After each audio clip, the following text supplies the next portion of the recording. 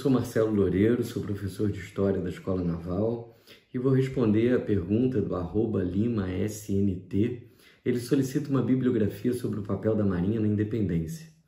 É, Para tratar dessa bibliografia, eu começo pela primeira obra que se publicou é, sobre a história da Marinha. Ela foi escrita ainda no século XIX, publicada na década de 1880 por Teotônio Meirelles da Silva.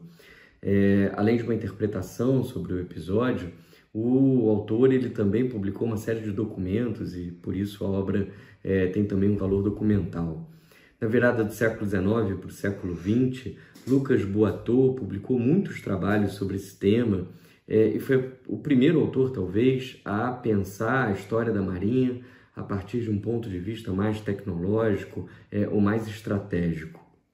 Nas décadas de 70 e 80 do século XX, o almirante Max Justo Guedes Eric Marques Caminha, Brian Vale e o almirante Hélio Leôncio Martins também publicaram muitos textos, é, seja na História Naval Brasileira ou artigos na Revista Marítima Brasileira.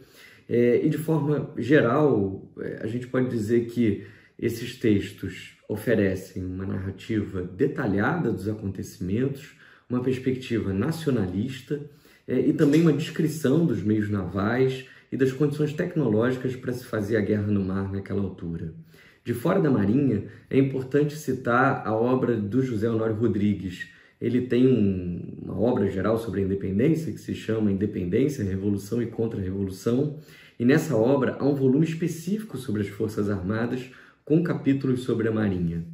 Mais recentemente, é, eu é, faço questão de referenciar o trabalho é, do Jaime Rodrigues, que se debruça sobre a cultura marítima no século XVIII e no século XIX, é um trabalho fundamental é, para se pensar esse tema, e algumas dissertações de mestrado, como por exemplo a do Carlos André Lopes da Silva, que estudou a Academia Real dos Guardas Marinha, o Gilberto Guzelin, que estudou as relações entre Brasil e África e as ações da Marinha nessas relações, e mais recentemente a dissertação do Marcelo Rodrigues de Oliveira, é, que ganhou o prêmio Arquivo Nacional de Pesquisa é, e que trata, na verdade, da guerra da Cisplatina, mas é, também abarca é, a questão da independência.